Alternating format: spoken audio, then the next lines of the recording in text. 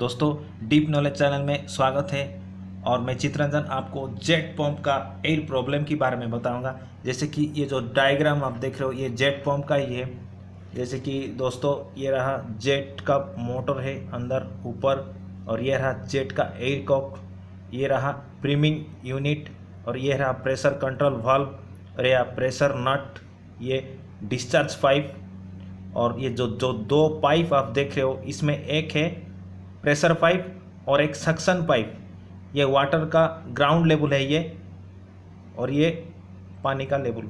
जैसे कि ये दो मीटर तक अंदर रहना है दोस्तों। ये जो जेट आप देख रहे हो, जेट असेंबली, यानी आप फुटबॉल खेलते हो इसको, ये जो जेट असेंबली, आप दो मीटर तक अंदर रहना है, पानी से ऊपर से नीचे तक दो मीटर अंदर डूबना है।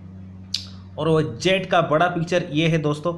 ये जेट की बात करें तो यहाँ पे देख लीजिएगा दोस्तों, ये जेट में एक वाशर होता है, रबर का वाशर और एक स्प्रिंग लगा रहता है। इसकी वजह से पानी यहाँ से नहीं खींच सकता है। आप जब पानी यहाँ पे डालोगे, तभी ये पाइप पानी अंदर मतलब फिलअप ही होके रहेगा और अंदर खिसकेगा नहीं, क्योंकि वाशर की वजह से और जब मोटर इसमें प्रेशर डालेगा तो वाशर खुल जाएगा और बाहर का पानी नीचे होके ऊपर आ जाएगा और यहाँ से आप डिस्चार्ज होगा, आपका मोटर सही से काम करेगा। तो दोस्तों, ये फंडा है इसमें। तो आप यहाँ पे मोटर को बार कोई प्रॉब्लम हो तो आप निकाल भी सकते हो। इसलिए आप यहाँ दो यूनियन फिट कर देना। जैसे कि हमारा घर में मैंने दो यूनियन यहाँ पे फिट कर दिया हो, कोई भी प्रॉब्लम हो मोटर का हो या जेट का हो तो आप यहाँ से यूनियन निकाल के ये दो पार्ट्स अलग कर सकते हो। तो दोस्तों, ये जो जेट पंप है, ये आप बोरवेल पर भी यूज़ कर सकते हो और कुआँ पे भी यूज़ कर सकते हो। तो इस वाशर की वजह से पानी नीचे भी, नीचे ये पानी जाने की वजह से ये एयर न हो जाएगा और आप यहाँ पानी डालोगे भी तो ये साउंड करेगा, बूम जैसा और मोटर चलता ही रहेगा पर पानी नहीं डिस्चार्ज होगा। तो इस प्रॉब्लम को सोल्यूशन आप ये वाशर ही चेंज कर दो। और ये जो स्प्रिंग है, ये चेंज कर दो। यहाँ पे जो लगा रहता है स्प्रिंग और वाशर तो दोस्तों, चलिए हमारे कुआँ के पास ये मैं डिटेल से दिखा दूँगा। और ऊपर जो आप प्रेशर भाव देख रहे हो, ये कैसे आप कंट्रोल करोगे, ये सब बताऊँगा। तो चलिए दोस्तों। तो ये रहा दोस्तों, हमारा कुआँ में जो जेट एयर पंप लगा है सी जी क्रम्पटन ग्रिप्स का। और आपको जो दिखा रहा था मैं दो यूनियन की बात तो ये रहा दो यूनियन आप ऐसे यूनियन फिट कर सकते हो।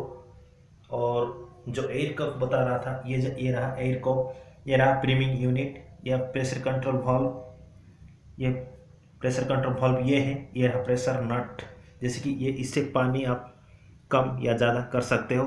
और ये जो चार नोट आप देख रहे हो दोस्तों, इसको एलेंकी लगा देना, क्योंकि ये नोट टूट जाने की चांसेस है। इसलिए आपको स्टील एलेंकी लगा देना है यहाँ पर।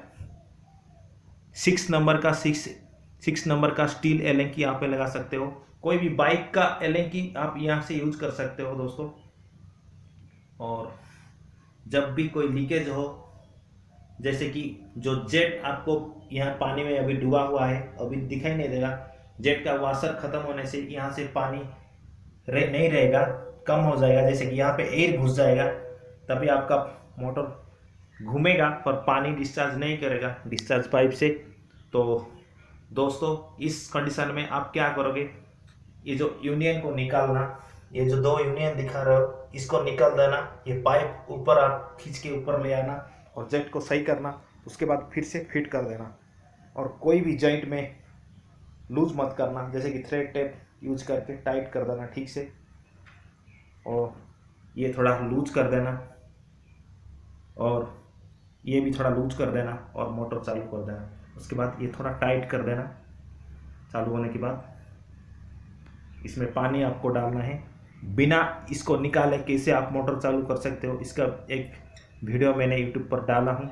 जैसे कि उसका लिंक भी डिस्क्रिप्शन पर इसी वीडियो की डिस्क्रिप्शन पर दे दूँगा। उसमें लिखा है जेट पम्प स्मॉल सॉल्यूशन वो वीडियो आप देख लीजिएगा। तो थैंक यू दोस्तों। इसी तरह डीप नॉलेज के बारे में जानकारी चाहिए तो आप मेरे चैनल को सब्सक्राइब कीजिए। Thank you subscribe my channel deep knowledge like करें। थैंक यू दोस्त। जय हिंद।